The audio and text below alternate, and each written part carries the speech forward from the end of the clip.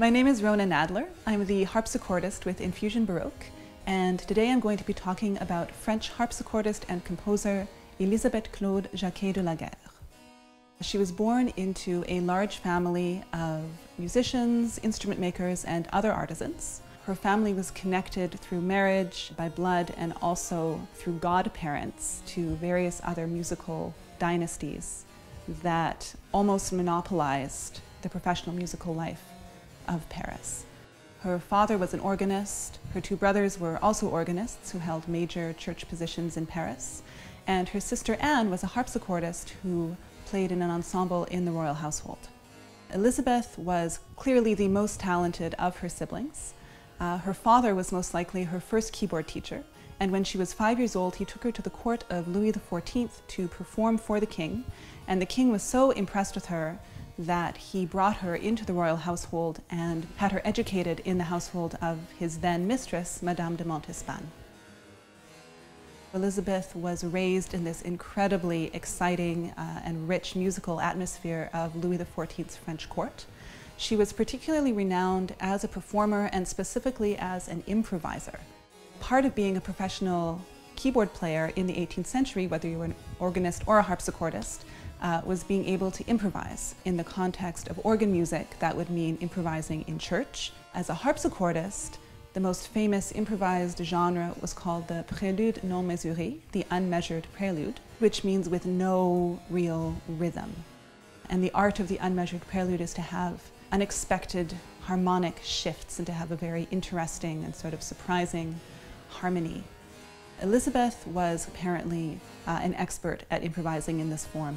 It was said later in her life that she could sit and improvise on a theme for a half hour or more, and her her listeners would be transfixed.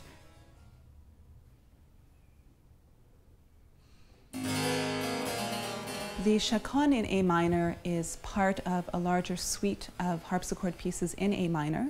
It's a typical Baroque dance suite.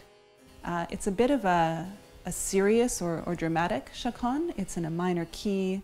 Chaconnes uh, often, especially if they're in a major key, are quite light and, and graceful and very charming. I almost liken it to uh, sort of the, the pop music of the Baroque. They often have a kind of a very feel-good kind of hook to them. Uh, but this chaconne, it's, it's, a, it's a great and catchy piece, but it's a little bit more uh, restrained.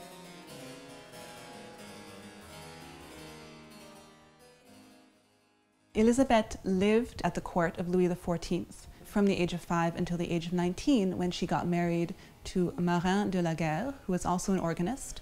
And together they moved from the court back to Paris, where they pursued their respective careers. Uh, they had a child together in 1694.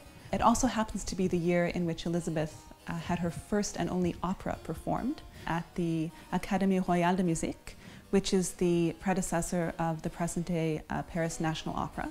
So that was a very uh, fruitful year for her. Her opera was called Céphale et Procris, and she had royal patronage for this performance. It seems that maybe it was not the most popular opera at the time. Uh, it didn't get very many repeat performances, and critiques of the opera tended to say that it maybe didn't have the best libretto. It had a very convoluted and complicated plot, even by the standards of Baroque opera. Uh, but the music is wonderful, and uh, the opera has been performed and recorded in modern times.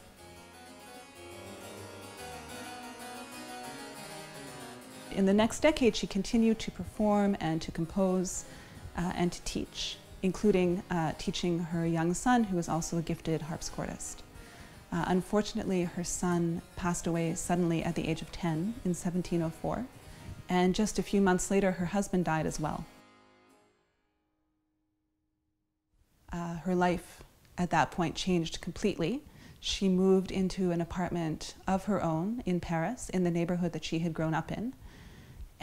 And uh, from that point on, she continued to support herself as a composer, as a performer, as a teacher. And she also hosted salon concerts in her home, which became very popular. And this was part of a sort of a revolution in Paris and in Europe from uh, the royal patronage system, where you really needed a royal or aristocratic patron in order to be a professional musician, to uh, a model based more on public concerts in which the growing middle class could also uh, come see and hear classical music. One area that was not open to women musicians at the time was to hold an official court post. So it's sort of the equivalent of saying that women could be uh, freelancers or you know adjuncts, uh, but they could never have the, the full-time salaried job with benefits at the court, say. Uh, and so that really did limit women's options in terms of their professional lives and their ability to have stability as artists. And so a lot of women, their careers would effectively be over when they got married or they were dependent in some way on a man for support.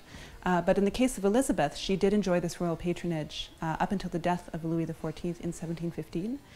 She sort of had, I guess, an entrepreneurial spirit, and she never remarried. For the rest of her life, she was able to support herself as a musician, as a composer, teacher, performer, and I find that really remarkable that she was like a full uh, professional musician in her own right who uh, made a living at it and was really an independent woman artist.